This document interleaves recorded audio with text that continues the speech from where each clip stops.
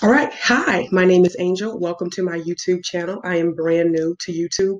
Thought I would make a YouTube channel about my travels as a solo uh, black female traveling around the world. Um, originally from the south side of Chicago. Holla!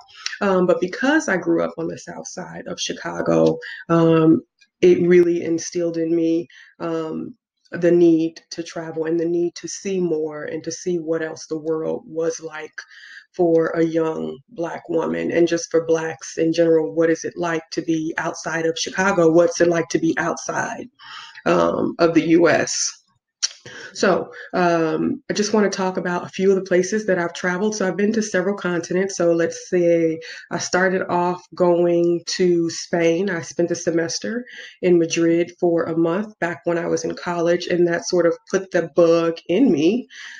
After Spain, I went to South Korea. I spent uh, a week in South Korea. After that, I went to Marseille uh, in the south of France. I've been to China. I've been to uh, Malaysia. I've been to Thailand. Um, I've also been to a couple places in South America. And currently, I should have started with that, but currently, right now, I am based in Berlin, Germany, um, doing a educational program, so I'll be here for the next month. So I just wanted to, I guess, talk about my experiences just as a Black woman traveling and what's it been like, or even just as a female um, traveling alone. And most people say, like, wow, how do you travel alone? Um, so the real reason is I never wanted to travel alone, right? I always wanted to, someone to go with me, a sister or a friend, but we could never get our schedules to converge at the same time, or I have money, but you don't have money, or vice versa. So I just said, I'm not going to wait anymore. Um, and one day I just bought a ticket and I left to go to Marseille. And it was one of the best travel experiences I have ever had. So ever since then, um, I've not been afraid to travel anywhere, even if I don't speak the language. We have things like Google Translate. Um, and then just a lot of people around the globe actually speak English.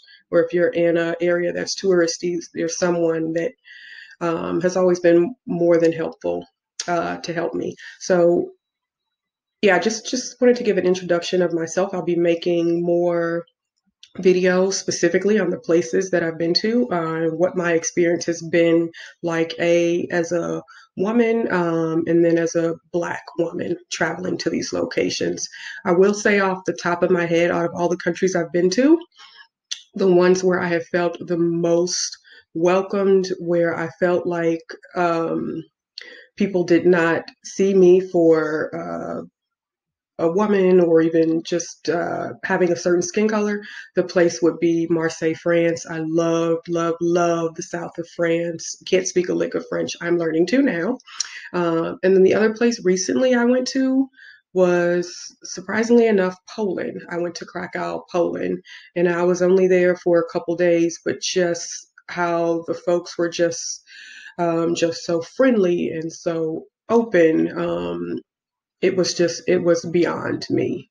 Um, so currently i am going to vienna. I'm taking a flight there actually in a couple hours. Since i'm in europe it only costs about 20 or 30 dollars um, to travel sometimes to these different countries once you can get over here.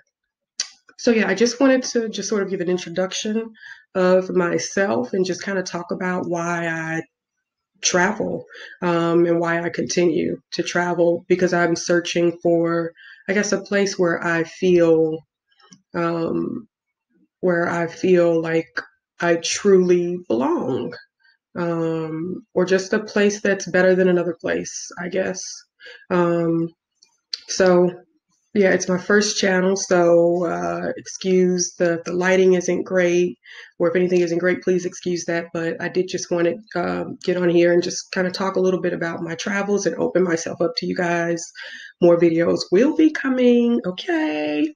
Um, all right. Uh, so I will see you guys later. Bye.